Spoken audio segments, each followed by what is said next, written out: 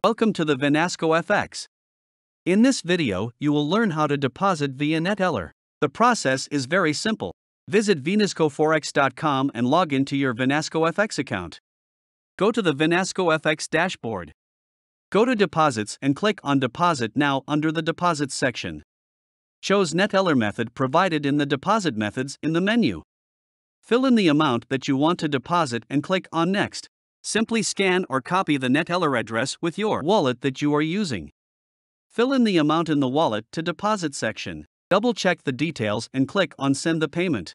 Make screenshot of successful transaction and go back to deposit area in your Vinasco FX account.